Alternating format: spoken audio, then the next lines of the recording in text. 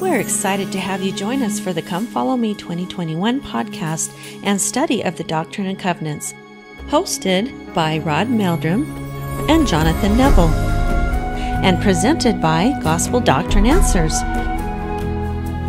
In today's podcast, we will study Doctrine and Covenants 10 and 11, that you may come off conqueror.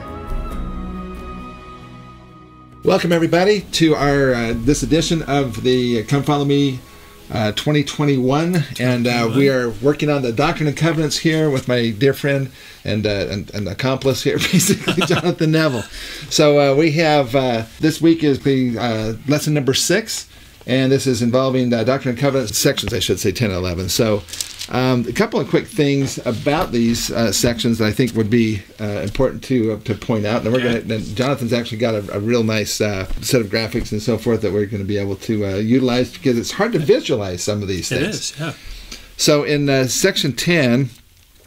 right at the very beginning, it basically says it was a translation um, and uh, because this is this is the time of when Martin Harris had lost 116 right. pages. Mm-hmm. So that's where we're kind of be, be, kind of talking a little bit about that, about the 116 page loss and so forth. The, the evil design of there were people who were, going to take those, alter them, and then say, well, when Joseph Smith retranslates the, right. the, the, the, the plates basically that he'd translated, then they won't match up, and then it'll show that Joseph Smith really didn't know what he was doing. There was, right. you know, that he wasn't really doing a translation. Actually, it kind of tells you a little bit more that it was actually a translation. Because if he was just reading off a stone and a hat, clearly whoever was that was putting the, the, the, the English language right. character, you know, words on the stone could have done just the same thing again. Right. Of course, then it would have been altered, and then it would have been the, the same same problem. So right. So, so anyway, he said, but, it, but he says in verse one is to translate by means of the Urim and Thummim. So again, uh, using the Urim and Thummim here, this is to, uh, to address that. And then we're just going to go ahead and, and just jump into um, this whole concept. Now, folks, uh, buckle up because uh, this is probably something yeah. you more than likely have not heard. I would guess that probably 99.95% of the church membership have not heard of the things that we're going to be yeah, talking about here. And that is that uh, how many sets of plates were there? Yeah. Okay, so should we dive So in? let's jump right into it. So, Jonathan, you go ahead and, and uh, let's start off with this. Okay, well, right, right here on the screen, you can see there's a um, the, the cover page of this week's lesson, and it, it says recording impressions while reading the scriptures is like planting seeds. Even small impressions can lead to meaningful personal revelation. And we're going to look at just a few of the, of the verses in these sections, and it's like planting seeds because it will completely change your understanding of, of how Joseph and Oliver worked with the plates, where they came from, and so on. So the first one we want to look at is the very first verse here. It says, Now behold, I say unto you that because you delivered up uh, those writings which you had power given unto you to translate by means of the Urim and Thummim. Like Rod just said, mm-hmm. throughout the scriptures, the Lord reiterates the importance of Joseph translating with the Urim and Thummim. The special instrument, yes. Right. But uh, because he gave up those writings into the hands of a wicked man, you have lost him. That was Martin Harris, as we just talked about. So he lost them for a period of time. Now, I, we wanted to go back a little bit just to review the history of the plates so you can understand why it's so important to know which plates he lost right. or which and these which details are just fantastic yeah, yeah. so in, it was in september of 1827 joseph smith and emma returned to palmyra from harmony so that joseph could uh, receive the plates. You can see how here's their little path up to, to Cumorah and palmyra. So joseph went to the hill got the plates. Now this is one of the most famous depictions in, in art and you can see it looks like they're in a jungle or something. So we thought we'd show you some of the photographs from the late 1800s to give another perspective of what Cumorah looked like. and, and, you can see there's this kind of a dirt. Pretty much road. a denuded hill, uh, yeah, uh, barely yeah. a tree on it. Yes. And there, we know there were trees on there when Joseph got the plates because they talked about that, but it wasn't heavily forested apparently. Yeah. But I put this passage in here because this was in early 1827 before he and Emma went to get the plates, and he had been in Manchester he was coming home late one night, and his father wanted to know why he was late and what had happened. So his mother wrote down this conversation. Mm-hmm. And he, Joseph said to his father, Stop, father, stop. It was the angel of the Lord that stopped me. Yeah, that's What's It's actually in the oh. history that Lucy Mack That's- Smith, that's one of of. Joseph Smith by his mother Lucy Yeah. Mack Smith. That's where this is one of the places Yeah. this is recorded. And it's right in the Joseph Smith papers. You can read this. Yep. So he said, It was the angel of the Lord. As I passed by the hill of Cumorah, where the plates are, the angel met me and said, I had not been engaged enough in the work of the Lord. So this was before he even actually had taken possession of the plates, before he translated anything, that Moroni had called it the hill of Cumorah, because that's what it was called. There's been, there have been uh, people who have claimed that the word Cumorah was never even used right. in this Yeah. early part of the church Yeah. history. Well, people claim everything. That, usually, people claim stuff that confirms their biases. But you Right, can yeah. you can read. Lucy didn't Yeah, just right refer to this; she quoted it. Yeah. She remembered the conversation. Okay. Anyway, Yeah. so here's another picture from the same era where there's a little boy standing or sitting on the hill Cumorah looking north, and I circled in red here roughly the area where the Joseph Smith farm was to give you an idea of how far he had to walk and so forth. Mm-hmm. And of course, this is farmland. At the time of the, the Nephites and the Jaredites, it, it could have looked similar. Yeah. It could have been more trees. But you can see how from the top of Cumorah, you had a commanding view all the way around. Yeah. You could easily see massive battles going on Right. through there. Yeah. Or not so massive, depending on what you think. The final Okay. great battle of the Yeah, the final great battle. Yep. So, what was in the box? Now, this is another depiction that shows uh, kind of a foresty thing. But the point is, there was a stone box that Moroni had built. Yeah. And inside, here's an artist's depiction.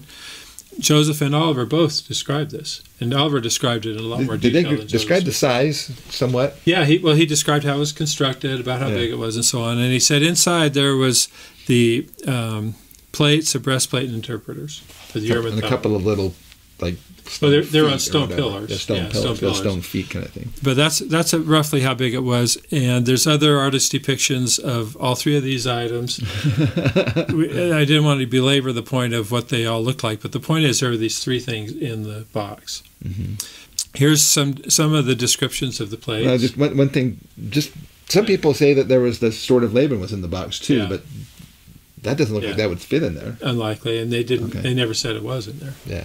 Other people said that later. Yeah. But Joseph and Oliver never said They never mentioned anything about this. Or the Liahona wasn't in there either. Good point. Okay. And we'll find out where those were in a minute. okay. So, they, uh, Orson Pratt, Joseph Smith himself said it had the appearance of gold. David Whitmer said golden plates. It's kind of an adjective rather than necessarily a literal material. Mm-hmm. Uh, William Smith said it was a mixture of gold and copper. And there's a, another uh, affirmation of that from Josiah Stowell, who Right. claimed he saw the corner and it was greenish in hue. Greenish. Okay. Yeah. Which shows, which means that there's some some copper that has Right. basically uh, Gotten in there. gotten there. Yeah. Uh, William Smith said it weighed about 60 pounds. Other people did. Joseph's father weighed it on a scale, the ones he saw, and said 30 pounds. So, Wow, that's a big difference. yeah, there. it's a big difference. And then Joseph said they were six by eight inches, something six inches in diameter, roughly the size of these plates we have here Here. down the table. Is it there? That's a, a resemblance of it. Sixty pounds. Yeah, there you go. There we go. Okay, so the the question is, what was in the plates? Uh, We already talked about what was in the box. Now, what was in the Yeah. plates? What was on the actual place Yeah. Okay. So the title page explains. And the title page says, I know everybody watching this has memorized the entire title page, so so I won't read the whole thing, but I'm going to highlight the part in color. Yeah. It says, Wherefore is an abridgment of the record of the people of Nephi, sealed by the hand of Moroni. And it was an abridgment uh, taken from the book of Ether also, which was a Jared. record of the people of Jared. People of Jared. So there's three components of what was in the plates. And here's a summary of it. Uh, there's an abridgment of the record of the people of Nephi, abridgment of the record of the people of Jared, and it was sealed by Moroni, which means he added his uh, last few Right. chapters. Mormon was the one that basically did the pretty much abridgment. the abridgments, right. one and Right. two. So we can see real clearly exactly what was in the plates, Mhm. according to the title page. It's like a table of contents, essentially. Yeah. Table, the title page is.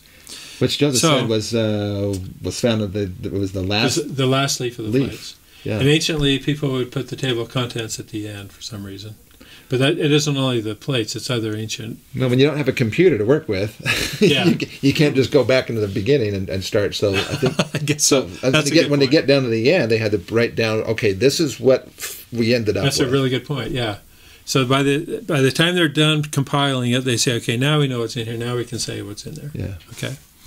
So I, I depict it this way the title page, And then there was it explains that these were what were in there. There was the abridged record of the people of Nephi, Book of Lehi, Mosiah, Alma, and so forth. You know all these uh, Mm-hmm. contents. So that's what he picked up from Moroni.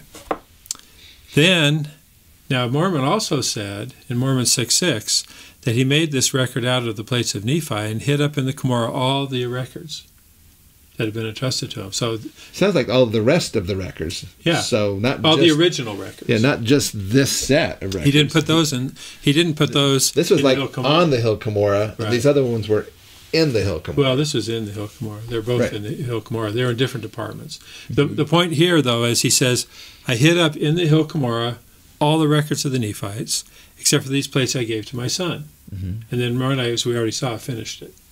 Right.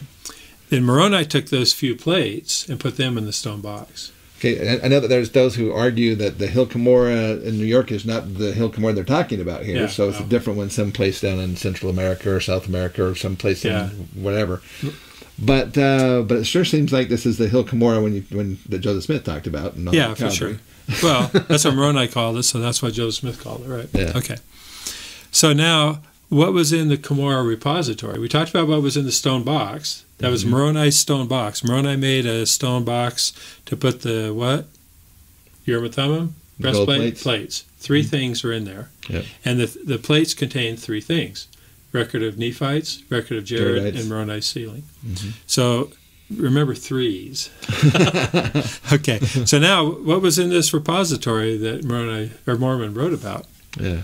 And we have a, an awesome depiction here of Mormon abridging the plates with Moroni underneath playing with his little army men, Yeah, Nephites, by John, Jon McNaughton is a, as the artist on this. Yeah, it's, it's a wonderful piece Amazing of art. artist, yeah.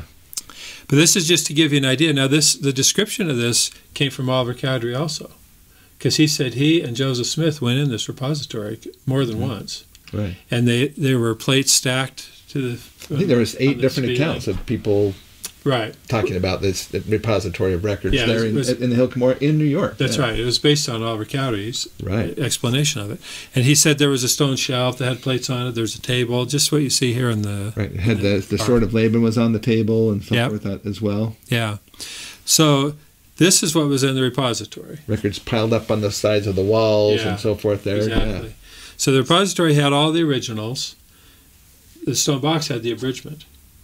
There was not Mhm. no mixing between those two. So Before before you move off of that uh, off that image, I want to just reiterate something, and that is that uh, in the words of Mormon, as Mormon is doing the abridgment, mhm, he's going through and, and, and so forth, and then he goes, and I searched among the other records, right, and what did he find? yeah, the small plates of Nephi. right, So he had been working on the large plates of Nephi. That's what he was abridging, Right. and then all of a sudden he got, and then I found this, and he says, and I put them with my other record. right, Now most people have assumed that that other record meant that he put them and installed them into the three ring binder Right. here. right, Okay, Yeah. the- the- of the but that doesn't make any sense because Nephi made those those records a thousand years before, right, and the chance of having using the same size and shape and the same hole punch pattern and so forth that he could just install them into his three ring binder, so to speak, so Yeah. to speak, doesn't make any sense. Well, But it'd make more sense that he would have set them aside. They were just along with. He set them with his other records. Yeah. And and we'll get to Yes, that a little more- more later. more. But um, so the and the main point is they weren't on the title page, so they weren't in that set of plates. Okay, so You mean you're talking about the small plates the of small Nephi? plates Nephi. They were not in the stone box, Right, right. and they were not part but of. But we're going to get to that later. So Yeah. Okay. Well, the, Okay. the I, we just want to make sure we clarify. We're getting a little confused. So, Okay. the repository contained all of the original plates, the brass plates they brought from Jerusalem, Yeah. had the plates of Lehi, the large plates of Nephi, the plates of Ether, those 24 gold plates. That was all in the repository, as well as what we call today the small plates of Nephi. All of that was in the repository, and probably more, but at least that's what we know because that was what was listed in the record. What was in the stone box, that according to the title page, Mhm. was just the abridged records and the sealed plates of ether that Yeah. Nora and I wrote. But no original records were in there because they weren't listed on the title page. It's like if you bought a if you bought a book and it had a title page and it told you all the things that were here's a table of contents. Do you expect to find a whole other section in there that's not on the table of contents? Of course not. You know. So we, we Right. this is all very obvious. Yeah. But just like you remember at the beginning of the lesson, it said if you pay attention to small details, you can have additional understanding of revelation. This is the title page is a very important detail that people overlook usually. It's the la- last thing that was that was written on before Yeah. the whole thing was sealed up in the right. box. and it, it was crucial to understand all this. Okay, so the plates in the repository stayed in Cumorah, in, in Palmyra. The plates from Moroni's box, Joseph took to Harmony. But because then, of, because of the persecution that was going on. Yeah. So horrible. well, it was that, and, and he Yeah. needed to get away because he had to have peace and quiet in order to translate. And so he arranged with his father-in-law basically to move down to Harmony. This is the wagon. This is the beans in the Yeah, barrel the beans. incident. They put Yeah. the, the, the plates in the bottom of a barrel of beans and covered them up, and then people, Right. ruffians, would try to. They were looking for, but essentially, what would be For gold, maybe over a million dollars worth of gold Right. in today's terms. right? And they put them in the beans, and they didn't find them. Yeah, them miraculously. That's right. okay. So the the point is that the what this uh, drawing slide shows is that what was in the repository is not the same thing as was in Moroni's box. Moroni's box was just an abridgment of some of these records. And and Mormon even explained he didn't abridge the small plates of Nephi. He found those after he had already abridged the plates of Lehi, the original plates. Yeah. So here's what was in Moroni's box. Joseph took those to Harmony. Then, so here's the depiction of how they got to Harmony. There's there's a couple of different routes they could have taken. No one knows for sure because they didn't say. But anyway, Harmony was just over the border in Pennsylvania along the Susquehanna River, where Emma grew up. So they ended up there, and then this is the priesthood commemoration site. I don't know how many people have been there, but it's a it's a wonderful place because and I'm going to show you just a few of the things. The Isaac and Elizabeth Hale home was here, circled out in red, and then the Joseph and Emma home was down the road. I'm going to show you pictures in just a minute of that, and then the baptismal area, which will be less, next week's lesson. Actually, is talks mm-hmm. about the baptism of John the Baptist. Mm-hmm. Here's the Isaac Hale home. It's been restored on the original foundations. The church has restored this, but you can you can see what an impression that would have made on Joseph Smith because here's this beautiful girl that lives in this home, right? So Beautiful home. yeah, yeah. yep. And then, but Isaac Hale wanted to see the plates. And Joseph said, I can't show you the plates. He said, You know, I, I can let you lift the box that they're in, but I can't open it. You can't see the plates. So Isaac Hale said, Well, I don't want anything in my house that I can't see and know what it is. So you guys have to move out. Get out. Yep. So they moved down the road. Here's here's the road that goes from uh, Emma's father's house down to this old cabin down the road here. This is what it looks like today. In fact, I was there just about four months ago. But um, cabin needed a lot of work, but it was livable. And and this is what it looked like. Okay, I need to explain this slide. In the late 1800s, this is what it looked like. But that whole section on the right was a later addition. Yeah. So the one on the Expansion. left, yeah, an expansion, yeah. yeah. The one on the left was the one where Joseph and Emma lived. And this is what it looks like today. It's all restored. But this is where all of the abridged plates were translated in this little house. And so we have a, a picture that has been restored to look like what people think it looked like at the And time. the church did this. Yeah, the church Yeah, did all yeah. this. Yep. And so, by the way, I, I can tell you when my wife and I were here right before it opened, the day before it opened, and they had a barrier across the driveway to get in. And I said, Well, we can't come back. So I just drove around the barrier. and I went in there and we acted like we owned the place, like we were supposed to be there. But what, what it turned out is there was a, there's a small branch that meets in the chapel here, which is the Uh-huh. visitor center. And they were doing the very first tour with the missionaries. The missionaries were practicing the tour. Oh, nice. And so they invited us to join them. So we went on, my wife and I went on the very first tour of the priesthood restoration site from the missionaries. It was great. And I'll tell you some things that happened during that tour here in a minute. Yeah. Okay. This is the interior of the home. And they- were translating upstairs, partly with Martin Harris. Mhm. And this is one depiction, artist depiction of the translation of the, uh, what we call now the 116 pages, which was the Book of Lehi. And again, the Urim Thummim plates and um, breastplate. So this is an artist's depiction of how he was doing. Now this is not imaginary. This is based on historical accounts. We're going to look at one of those accounts in a minute. So all those people that say he used a stone and a hat have there's another version of reality that Mhm. we can support here. Okay, so this is the table there. When I was there, I, I looked at this and I said, "Oh, there's the manuscript. That's roughly the size it was." And I said, "Well, so what's under the cloth?" And the missionaries told me the the plates. so of course I had to peek. I had to see what the plates looked like, right? And uh, when- the curious one that you are. and then and then I took a close up picture of them too. And and this was interesting because since then I've been back, and the missionaries tell me they're not supposed to remove the cloth Remove even the to look at cloth. this. And I, I talked to missionaries who'd been there for over a year and they'd never seen the place seen under it. there. And I thought, what the heck, you guys? You ought to at least take a look. And, and you know, this this brings up another point. Yeah. You know, all Joseph's whole family says, "Oh, we never looked at the plates." You know, Yeah. well, come on. I, you know, William Smith in particular, I'm sure he did, but Yeah. So That's part of the reason why he kind of testified about it. too, yeah, right? You know? exactly. He said, "Yeah, that's an alloy." yeah. I'm not supposed to know this, but it's an alloy. So then he also, and, and they weighed 60 pounds, which is Mhm. another thing. But anyway, so Martin Harris lost the manuscript. Joseph got all upset, of course.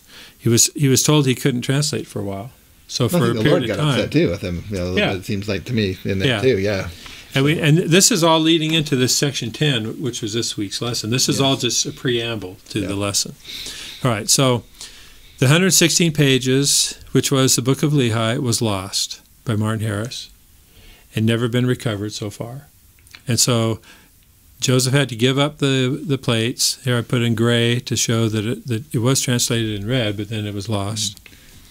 Can, can I before you before you Yeah, leave that just, sure. just just throw in one other thing. Remember, folks, this is from this is actually the abridgment that that Mormon did, which is basically which he was getting from the the large plates of Nephi, Right. The the, the, the main set of Yep. plates. Yep. That he had been working on, and then he went Yeah, and so it found shows these right small, pla- the small set of plates. So Yeah. this is this That is was this 116 pages is the more secular account that as Nephi describes Yeah, in the Book of Mormon. Yeah. But it was from the original plates, an abridgment from the original plates. Okay. So here's where the lesson picks us up in D&C 10 and 11. Now, this is after they lost the 116 pages. And as we pointed out before, Joseph had lost the, um, the, the power to translate for a time. But then he got the plates back. He went back to Palmyra, got the plates back, returned back to Harmony again. And this, in the fall of 1828, particularly around um, uh, November, because in October he had to work on the farm. November time frame, he told his mother that he began retranslating, and he had three people work as scribes. He had Emma, his brother, and Martin Harris. All worked as scribes in that time frame. We don't know how much, who did what. Emma was presumably the principal one. That's a little bit about from the fragments and so forth of the uh, original manuscript and things that have been found. That they have they found. Well, we don't have the original manuscript for Mosiah. for that part. Yeah. No. Well, that's right. So- it's 116 pages. Well, no, 160 pages was the other. But this is what this Yeah. slide shows. So Joseph and Emma began translating from the book of Mosiah, which picked up from where the 116 pages ended. And so that's where they started. And then for the period roughly between November and March, they worked on it, but it took a long time. It was slow, hard work, and so on. They had other things going on. So, what I call the pre Oliver scribes, it was uh, Emma, Joseph's brother, and Martin Harris in some mixture. But I think they, they translated most or all of Mosiah, and I have a lot of reasons why. Other people have reached a similar conclusion. Yeah. I explained it all in detail in this um, Man That Can Translate yeah, book, This book. which is this book here. So there we go. So you can see that. If, if you're interested in it, I, I go through the original manuscript, which is first Nephi mostly, and a little bit of second Nephi, and then compared to the printer's manuscript. There's lots of detail in there. But it, it, it affirms what people said. For example, when asked how long it took to translate the, the plates, uh, David Whitmer said it took eight months. You know, the But traditional account is just three months. Or, April, May, and June. That's what we always hear about, three months. Right. But David Whitmer said, no, it was eight months. So if it's eight months, he had to start in November, which he said he did. You know, He Mhm. told his mother he did. So November through June is eight months. So Mm-hmm. it works. In, in, in the book, you talk about the, uh, the how how many pages per day it worked out to, and so forth, yeah. and it was pretty pretty Yeah. slow It was going. slow. The two or two or three hours Yeah. per each page, basically at that point. David Whitmer said it was a laborious work, and when they got up to Fayette, they they worked from sunrise to sunset, or Yeah. morning to evening, Yeah, something morning. like that. Yeah. So long days. Anyway, so th- we're still getting up to D&C 10. Yeah. we're going to get there. All right. So Oliver Cowdery showed up in, uh, well, no, during the same time where they were translating in the fall, Oliver Cowdery was up in Palmyra teaching and hearing about Joseph Smith, asking questions and so on. Finally, the Lord appeared to him and said, You need to go help. So Oliver Cowdery left with Samuel Smith. They came down to um, Harmony on April 3rd. Joseph was praying for help to translate because Emma had other things to do. Yeah. And on the 5th, Oliver met Joseph Smith for the first time in Harmony. Then Joseph and Oliver began translating with the book of Alma because they'd already done Mosiah. So in Alma they start. Here's a depiction of Oliver writing down as Joseph's dictating. And then this is something interesting from Oliver Cowdery. He testified in a later proceeding that Joseph Smith found with the plates from which he translated the, the book. So he translated the book from the plates, two transparent stones resembling glass set in silver bows. That's a and Thummim. description of the Urim and Thummim. Yeah. That by looking through these, he was able to read in English the reformed Egyptian characters which were engraven on the plates. So that's how Oliver Cowdery said as plain as can be. Now, if you look at this carefully, Yeah. it doesn't say necessarily that he could read English words, but that he was able to read English as, as a translation process. From the Reformed From Egyptian. the, yeah, from the engravings. Which means if he was seeing Reformed Egyptian characters, was he or was he not using the plates? Well, you had to use the plates, right? That's where that's the Yeah. only place he would be seeing the Egyptian characters. So, and, and again, Oliver Cowdery reiterated that he translated the book from the plates. Mhm. So, pretty straightforward. Okay, now the scriptures also tell Joseph to translate the engravings on the plates. So, and you can see here's some more artist depictions and so on. So here's where we get to section nine. If you remember, I think it was last week. Yeah, we talked last about week. section nine. Yep. And Oliver Cowdery tried to translate, wasn't able to. And what did the Lord say? He said, "Continue until you finish this record." What was this record? That was the This abridged is plates. this, this right the here. abridged plates from Moroni stone box. Yep. And then it said, "Behold, then I have other records I'll give you, uh, power that you can help him translate." But they had all the plates with them. Yeah, except they didn't. They're already in. They're already all installed into, yeah, this, into the right. three ring That's right. binder. That's right.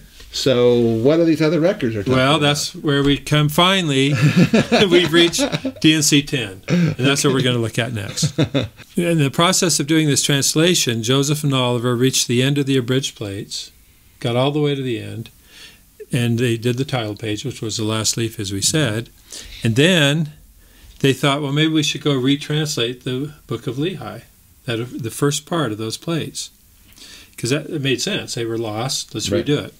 And what happened? The Lord said, no. The Lord said not to do that. Don't retranslate it. And that's what D&C 10 is explaining. Yeah. Why the Lord ex- told Joseph, don't retranslate D&C 10. But there's more than that in that. Yeah. section. Can you imagine how much was lost though in 116 pages? there? Yeah. Oh my goodness, the, the amount of information that was there. And and there's some scholars think there was actually more than 116. That the 116 pages was what replaced what was in the Book of Lehi. There's a lot of speculation about it, but you know Joseph Smith said it was 116 pages. And that's good enough for me. Yeah. So Yeah. anyway, um, instead, here's the cool thing: instead of retranslating the Book of Lehi, the Lord told them to translate the plates of Nephi. Yeah, and and there were. Oh wait, Yeah, there's no plates of Nephi. but wait, they're not. They don't have. They didn't have it, and that's what this shows. See, watch this. Okay. If you look at verse 38, Lord says, And now verily I say unto you that an account of those things that you have written, which was 116 pages, which have gone out of your hands because they were lost, is engraven upon the plates of Nephi. So, and then it says, These are the small plates of Nephi, well, we call them the small plates of Nephi. Right. right. So, which, which was the more spiritual account, really, than the Yeah. than the secular account, which were the large plates. of didn't get into all, all the history as much. That's right. Yeah. And then the Lord said, Therefore, in verse 41 here, therefore you shall translate the engravings which are on the plates of Nephi. I mean, that, it's pretty obvious. Sounds like right? another translation going on. Yeah, right? and it, Yeah. it wasn't just translate these things over and underneath a cloth somewhere. He had to translate the engravings. How can you t- translate the engravings if you're not looking at the engravings, right? Right. So translate the engravings which are on the plates of Nephi down even until you come to the reign of King Benjamin, or until you come to that which you have translated, which you have retained. So he had retained a little part. In other words, he and this is digressing a little bit, but mm-hmm. he or Martin Harris had translated more than 116 pages. Let's say 117 pages. But mm-hmm. page 117 was not sewn with the rest. Right. So Martin Harris took the 116 pages. Joseph retained page 117, let's say, or eight. eight. So he knew where they had left off. yeah, he knew exactly Yeah. where it ended. And if you look in the Words of Mormon, you can tell the last few verses are part of the, what was he retained. And so we talk about that in these other books. We don't have time to get into that now, but it's awesome if you're if you're interested in looking Yeah. into it. So, um, but he told them to, uh, yeah, translate the engravings on the plates of Nephi, and then he says, publish it as a record of Nephi. Okay. So here's the key they don't have the plates of Nephi. Mhm. All they had was the abridged plates. So what are they going to do? You know? So then he, the Lord, this is the part you're talking about. There are many things engraven upon the plates of Nephi, which throw greater views upon my gospel. It was wisdom in me that you should translate this first part of the engravings of Nephi down to the king, reign of King Benjamin Yeah. and send it forth in this work. So there's two different things going on here. It's awesome. And, and I hope all of you are reading D&C 10 to understand this because there's more references in D&C 10 than I Yes, can there is. point out here. Yep. So then, let's look at this for a minute. It said he said, "Send forth in this work." What was this work? This work was the translation of the abridged plates. That's what they had been working on. That's the one the Lord told Mhm. in section nine. The Lord told Oliver Cowdery, "I want you to continue with this work." And now he says, "Send it forth with this work." So this work was the abridged, uh, the translation of the abridged plates. And then before that, he says, translate this first part of the engravings of Nephi. What was that? That was, first part of the engravings of Nephi was, we call today the small plates of Nephi. Yeah. So, It actually says, says that also in verse 39 in, in section 10 Yeah. too. Basically, there's five times in there it talks about Yeah. it. Yep. So, first, and these, today in our Book of Mormon is First Nephi through Words of Mormon, the first part of Words of Mormon. And then we can tell from the title page these are not included in the abridged plates. I mean, uh, it's just there. Yeah. So, here's what happens. Where were the plates of Nephi? So yeah, where did he get those from? okay, They just Well- show up out of nowhere, or kind of thing. where the scriptures tell us. It's awesome. this is this is, So- this is so fantastic, The, the plates of Nephi, even though in section 10 the Lord said you got to translate the plates of Nephi, the plates of Nephi were back in the repository with all the other original plates. Like we just talked about that. Mhm. So here's the thing. In June, the next month, Joseph and Oliver translated the small plates of Nephi in Fayette, New York. You can see on the map here, it has um, the purple circle was the original plates in the Hill Cumorah. In green, it's in Fayette now, where they're translating the plates of Nephi, and blue is where they translated the abridged plates in Harmony. The big, the big. So those are the three things. So the question is, well, again, the small plates were First Nephi through Words of Mormon. How did they get the plates of Nephi? And that's what we're going to talk about in two weeks. So right. you got to be So patient. where did they go? What, you can. I'll tell you what. Here's here's a clue. Yeah. If you read D&C carefully, D&C 10 carefully, in conjunction with D&C 9, because remember in D&C 9 the Lord said, "I have other records that I'll help you give you power to translate." Yeah. The D&C set, 10 says you got to translate these other records. This is the kind of fulfillment of that. Yeah, of totally. Fulfillment of uh, of the section nine Right. promise. Section 9 kind of gave him a hint. If Joseph and Oliver were paying attention, they would know that additional records, other records were coming. And then the very next revelation tells them what those other records were, it's the plates of Nephi. Yeah. But it, if you read just those scriptures, you can't tell how they got them. So we'll talk about that So, how, so what happened to the original set of plays. We'll talk about that in two weeks too. All right, that's the, the little teaser here, folks. So yeah, so hang in there. Be patient. study study So, uh, up on. D&C 10, and you might be able to figure it out. But if Yeah. not, we'll help you in two weeks. You bet. All right. Well, th- thank you, Jonathan, for sharing those that this the amazing insights and information about this. This is really important, folks, because we need to know where this all came from and how it all went down. But also, this this also has real implications for um, things like the Hill Cumorah. Where is Yeah, the Hill totally. Yeah. Um, where is the repository? Yep. And, uh, and and we're going to get into that here uh, in two weeks from now. Two weeks from and, now. uh, so we'll, we'll look forward to seeing you then. Yep. Okay. All right, everybody. So, We'll see you so then. again, so uh, please give us a like if you are enjoying these uh, these podcasts. We're trying to keep them a little bit shorter. The last year kind of went way long, and Right. sometimes two or three hours, even sometimes. We're trying to keep these into a Well, and we, we have links for additional and then information. additional links. So that's why you know check out the links um, after this, and al- also on the websites. Yep. And uh, and we will see you next week. Okay. Thank you, everybody.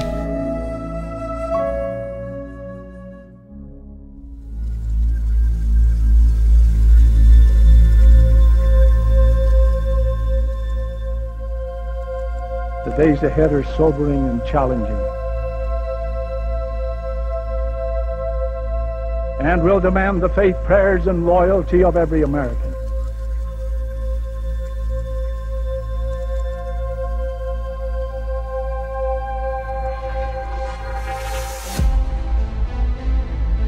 May God give us the wisdom to recognize the dangers, the dangers of complacency the threat to our freedom.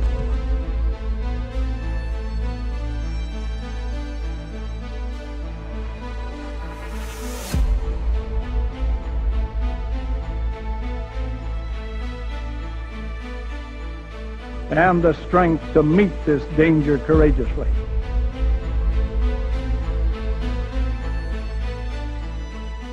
As the ancient apostle declared, the night is far spent the day is at hand.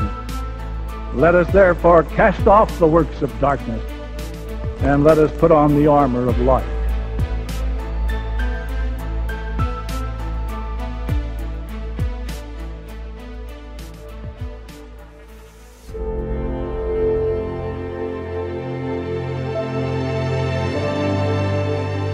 Challenge is to keep America strong and free. strong socially, strong economically, and above all, strong spiritually. If our way of life is to endure, there is no other way. With over 700 videos that are inspiring, you can fortify your family and friends by putting on the armor of light at bookofmormonevidencestreaming.com.